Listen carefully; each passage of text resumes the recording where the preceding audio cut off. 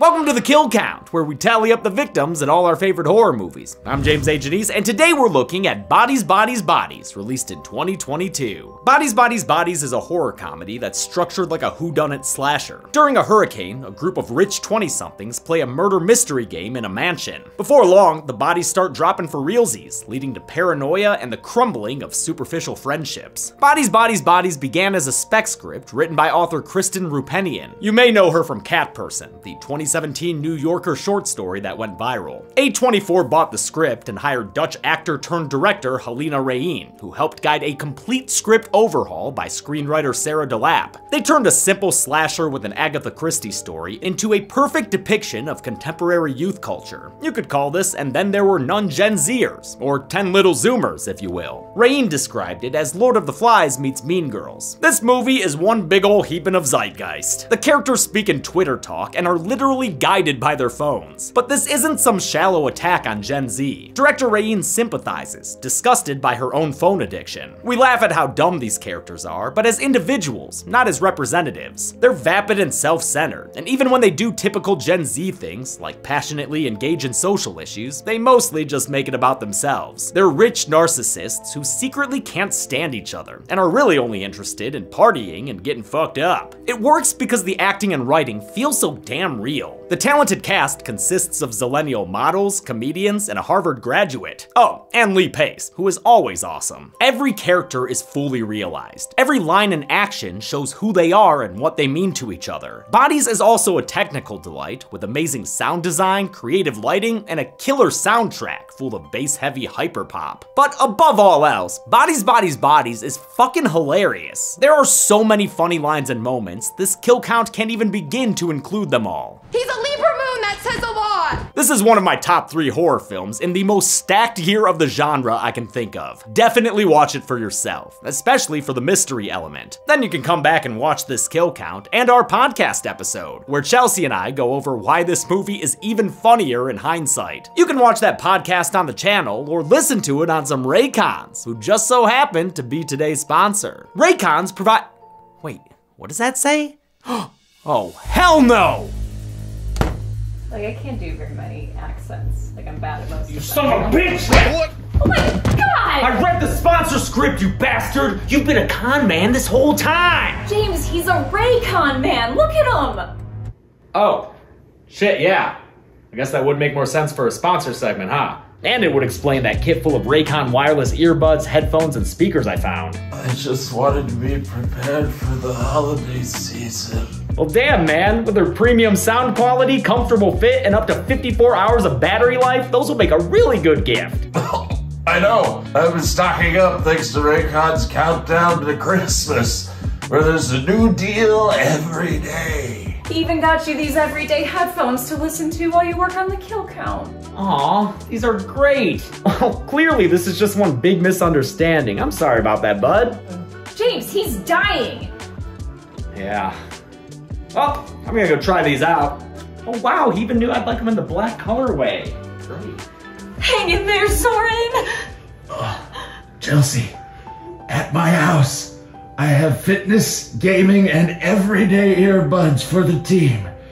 Make sure they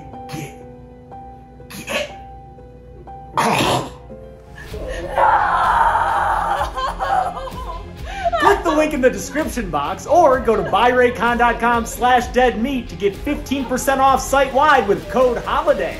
Plus, there are new pop-up deals every day during Raycon's countdown to Christmas. We'll try to keep the description updated with the latest offers, but you can always go to buyraycon.com slash deadmeat to get the best deals available. When it comes to bodies, are there a lottie in bodies, bodies, bodies? Let's find out and get to the bodies.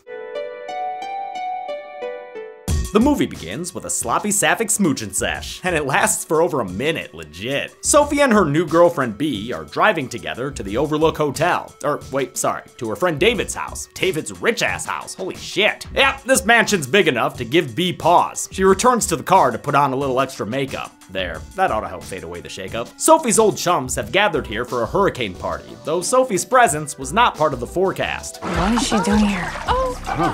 She's been MIA from this SNL friend group thanks to a recent stint in rehab. I can't believe you're here. Like, last time I saw you, you were coked out on the subway, hissing on the floor like a little hyena. But now Sophie's sober, and with B, who is literally the fish out of water with these clearly popular cool kids. B tries to fit in with some homemade zucchini bread. Yum. But zucchini ain't gonna cut it, girl. Look at this Greg guy. He's popping bottles with swords and shit. The working class B is a nice audience surrogate as an outsider to this toxic friend group. She's also literally an outsider, since she's possibly an emigrant from an undisclosed country. She's perfectly cast with Maria Bakalova, the young Bulgarian actor whose standout performance in the Borat sequel got her the rare Oscar nom for a comedy. As they toast outside, the hurricane begins. For those of us who don't live with this particular natural disaster, hurricane parties are a common way to ride out the rain. You get to hang out with friends and family and find safety in numbers. Of course, most hurricane parties don't take place in fucking mansions. For these rich kids, it's an opportunity to film TikToks and have a good time, dancing like it's the night before battle in Zion. They couldn't care less about the actual toll this disaster can take on other people. Can you turn that off? It's bumming me out.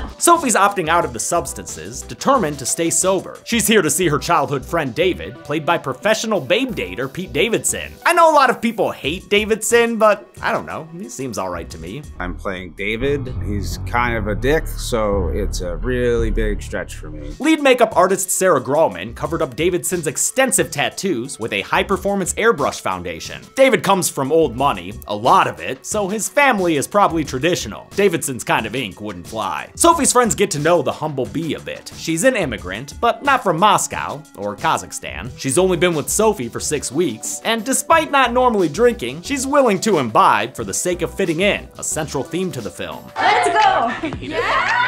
Oh my god! Okay, bitch! Yeah, B, get buzzed! In turn, B, and the audience, gets a quick rundown on Sophie's friend group. David's actress girlfriend Emma is nice, if a little vapid. Alice is bubbly and gregarious, but also insecure and self-centered. Are you talking about me?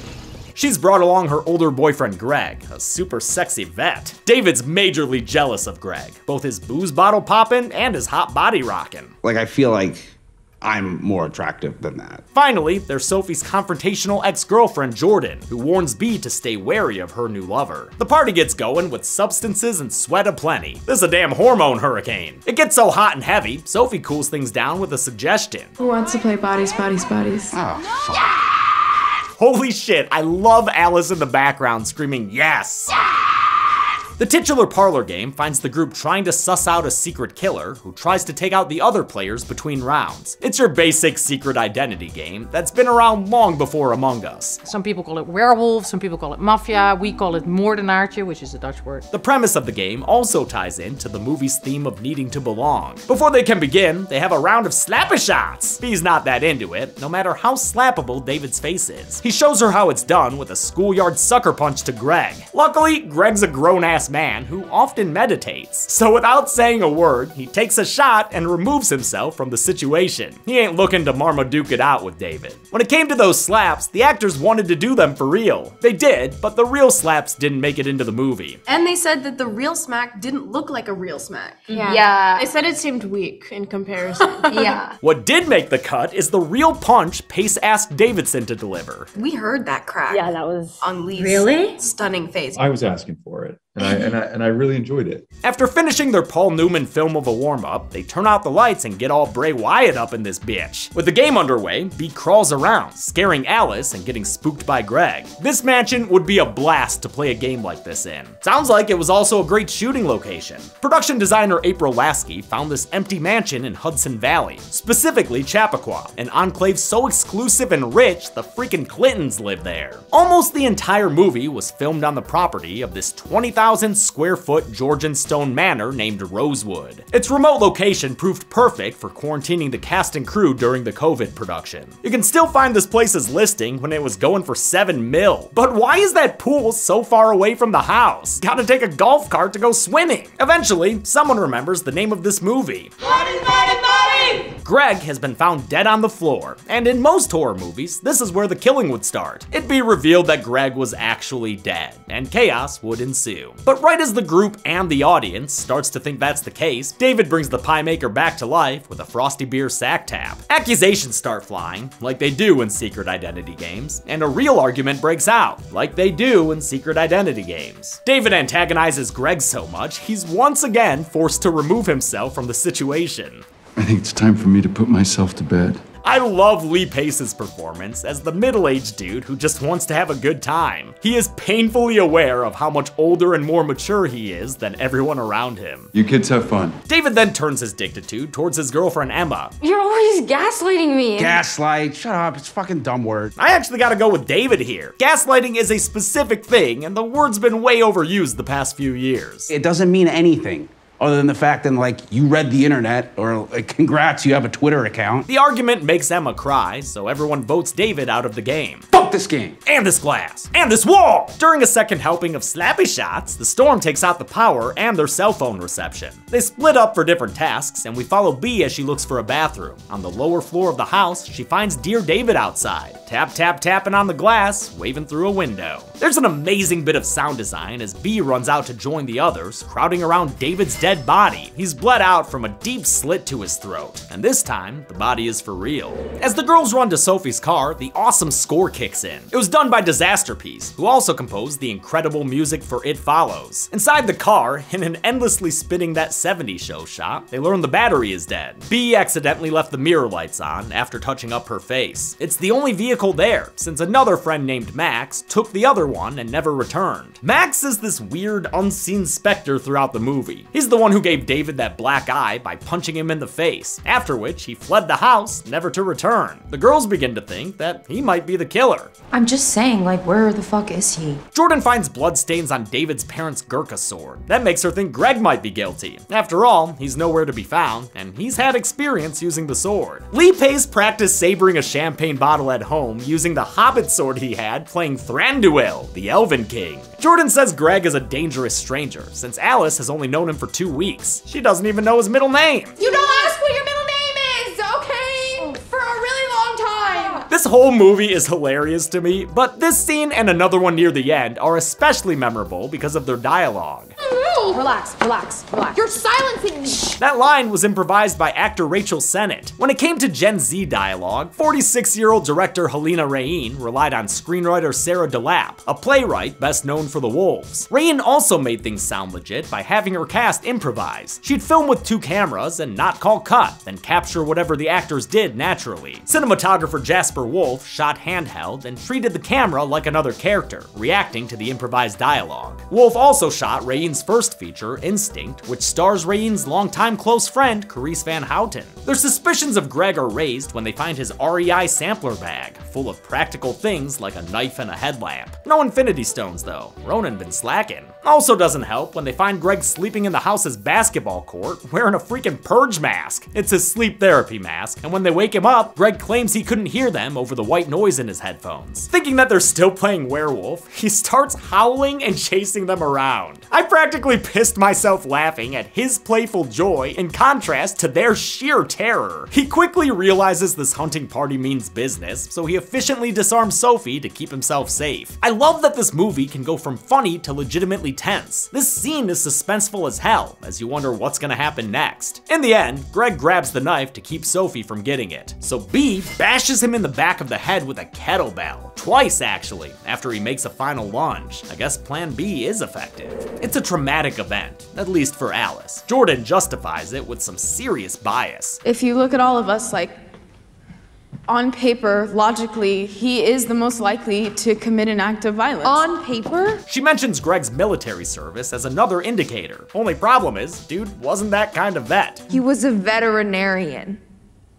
He was a veterinarian's assistant. Are you fucking serious right now? While I'm sad about Greg's death and it makes me like B less, I also find it hilarious why they accused him, these dumb idiots. They found it suspicious he had a map and supplies with him, even though it was just because he's a prepared 40 year old. Zombie pukes from her act of murder, and while she's changing, Sophie falls off the wagon. Actor Amandla Stenberg gets good and scary playing a relapsed addict here. She blows up on Emma in a vicious and personal way, but later makes peace with pills. I guess friendship is pharmaceuticals. I love how the self-centered Emma initially thinks Sophie has the hots for her. Great acting moment from Chase Sui Wonders, who was born and raised in the Detroit area. Hell yeah! There's another scene of everyone looking for each other, which highlights the movie's creative lighting. It's hard to film a movie in the dark with realistic motivated lighting, but Bodies manages to do it. Production designer April Lasky installed emergency exit signs and other environmental light sources, while the actors light each other and themselves using instruments that are also relevant to their characters. Jordan, the take charge type A character, uses Greg's practical headlamp. Alice, the party girl, is lit by glow sticks, turning her into a human lighthouse. B uses her phone, which is tethered around her neck, because she's always talking to and texting with her mom, whom she has to take care of. Eventually, Alice trips over Emma's stone cold dead body, extra bloody at the bottom of a staircase. Come on, Alice, you're supposed to yell bodies, bodies, bodies! They figure that someone must have pushed her down the stairs, and Alice angrily points out this new body proves Greg's innocence. They get into a slumber party massacre huddle to figure out who might be the killer. Alice begins accusing B, and Jordan piles on. Things get pretty shovey, and B is forced out of the house. Locked out of all this place's various entrances, she retreats to Sophie's car, where she gets dangerously cheesy.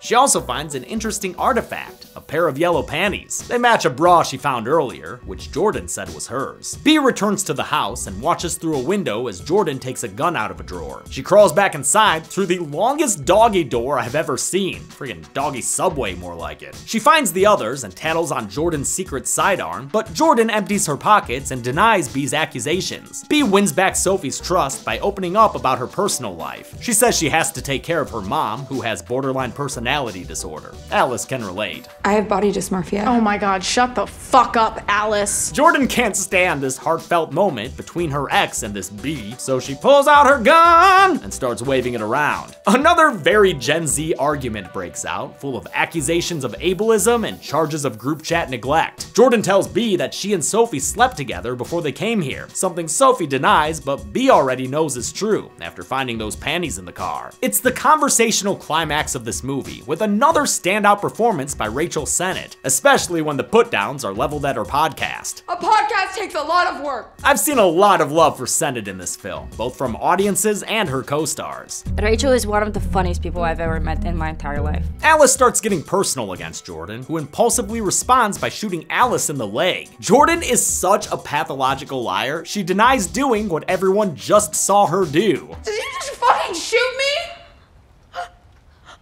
no. Myha'la Herrold is excellent as the pugnacious Jordan. During my second watch through, I noticed a lot of her understated, hilarious line deliveries. The frenemies get into a good old fashioned girl pile, and we all know what's coming next. Oh!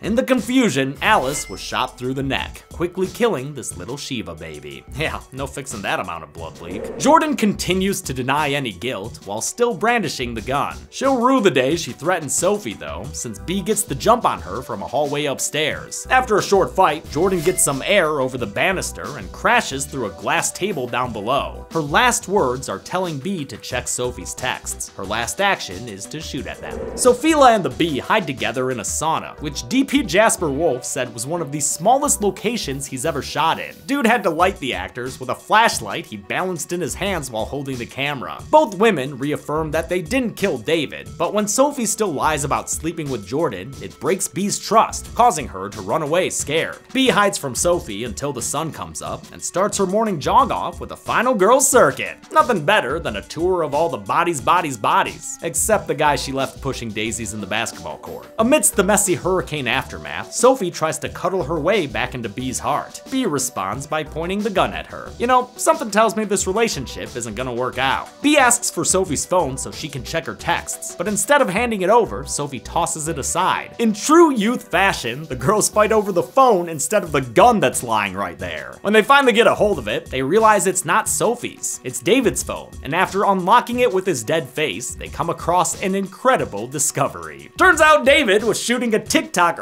to try to out swordplay Greg. During his attempt, he slit his own throat, meaning the death that kicked this whole thing off was self-inflicted by an envious idiot. Greg was then murdered by bias and groupthink. Emma died from a tumble down the stairs after getting woozy from the pills Sophie gave her. Alice was killed by accident, and Jordan in self-defense. This was a who done it without any who that done it. But the ending wasn't always that way. In the original script by Kristen Roupenian, there was an actual killer. Director And screenwriter DeLappe changed it so the characters' deaths came of their own doing. It's all kicked off by David and his fragile male ego. His pressure to feel strong wound up getting himself killed, and the ripple effect of that killed all his friends. This ending also drives home the theme of social media addiction. And we're not really looking at what's really going on. And if these characters would do that for one moment, the movie would stop. Just as this realization washes over them, someone arrives. The unseen Max finally returned after his fight with David. He's played by Connor O'Malley, one of Chelsea's favorite comedians. She's Minion Squad for life, man. Max asks them what happened right as the power and reception return. Shocked, it's the only thing B can respond with. I have reception. How many kills, kills, kills were in Bodies, Bodies, Bodies? Well, let's find out at the numbers, numbers, numbers. Hey! It's really not that hard. Shockingly. Expected way more of a mess. Five people died in Bodies, Bodies, Bodies, so I guess it should be called Bodies, Bodies, Bodies, Bodies, Bodies. The victims were three women and two men, making this Hurricane Party pie chart. We've seen this count and gender breakdown four times before on this show, across a variety of very different horror movies. With a runtime of 94 minutes, that left us with a kill on average every 18.8 minutes. I'll give the Golden Chainsaw for coolest kill to David. Rarely has a mystery reveal made me laugh so hard. Dude killed himself, making a TikTok out of envy, and kicked off this whole dumbass night. It's perfect. Dome Machete for lamest kill will go to Emma, I guess, found dead after a drugged up tumble down the stairs. And that's it. Bodies, Bodies, Bodies came out in 2022, and I bet it'll mean as much to kids today as Scream meant to people my age. Next week is Malignant, if all goes well, but until then, I'm James A. Janisse. This has been the Kill Count. Thanks a lot for watching this Kill Count. Yes, next week is Malignant, and after that is Prey. I know originally it was supposed to be Last Night in Soho and Nope, but things got changed, and if you think about it long enough, you might be able to figure out why. Also, if you didn't notice, I'm wearing a Be Good People sweater. Now, this isn't available on deadmeatstore.com just yet, but it will be in one week from today, assuming you're watching this the day it comes out. Now, with Be Good People merch, we don't take a single cent of profit. Literally all profits go to a charity, in this case, the National Network Network of Abortion Funds. That's a charity that provides labor and financial support to local abortion funds around the country. So in one week, this and other Be Good People merch will be available and you can buy them to support that cause. I want to thank some patrons like Aaron Grace, Alyssa Dowdy, Keith, DeCheg, Jordan Privet, Sitka6, and Jaden Thomas Young. Thanks everybody. Read the shirt.